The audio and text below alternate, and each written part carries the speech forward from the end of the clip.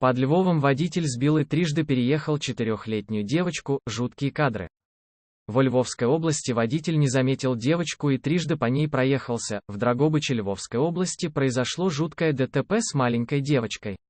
Водитель сбил, а потом трижды переехал четырехлетнего ребенка, который катался на самокате. Кадры, на которые нельзя смотреть без слез, появились в распоряжении Варта-1. На них видно, как авто сдает назад, совершая наезд на ногу девочки задним колесом. Ребенок падает, и тогда переднее колесо проезжает по туловищу девочки, в том числе и по голове. Затем водитель разворачивается и вторым передним колесом еще раз проезжает по ногам девочки, которая уже без сознания, при этом водитель и не планировал останавливаться.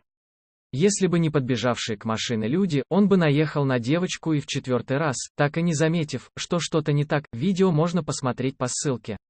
Осторожно, оно содержит жуткие кадры. 21. Страшная авария случилась 6 августа в 18 часов 20 минут на улице Стрыской неподалеку от автомойки. Водителем Volkswagen оказался 19-летний житель Самбора, ребенка с многочисленными травмами госпитализировали. Проводится досудебное расследование, правоохранители выясняют обстоятельства происшествия. Ранее мы писали, что в Луцке новорожденный впал в кому после прививки. Теперь родные винят медиков, а врачи – коронавирус. Также сообщалось, что под Киевом водитель авто наехал на шестилетнюю девочку. Все случилось на глазах у бабушки.